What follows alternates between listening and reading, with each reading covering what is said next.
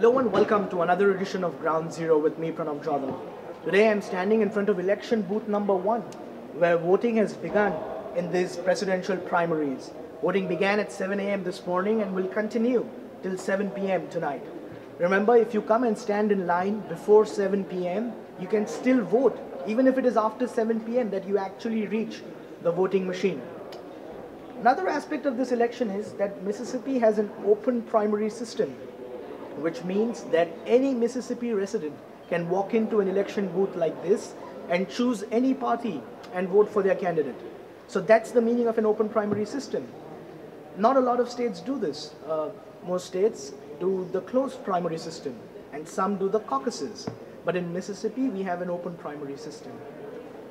Now, most polls have predicted a Donald Trump victory tonight over other Republican presidential candidates. And on the Democratic side, it's a Hillary Clinton victory. That's what most polls have been saying.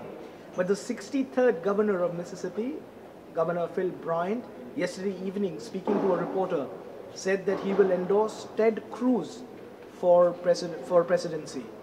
Now, I spoke to some political pundits last night, and they believe that that wouldn't change a lot for Donald Trump.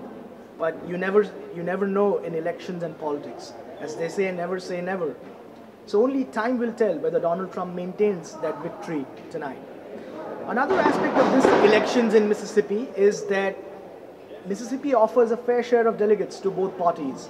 It's 40 on the Republican side and 41 on the Democrat, Democratic side. Now let's go outside and see whether we can find any camps or any supporters tonight. There's a rule that there cannot be any campaigns 15 feet of this facility. So I'll have to go a little further and find some people. Keep watching Take 30 News as we cover the primary elections throughout the day.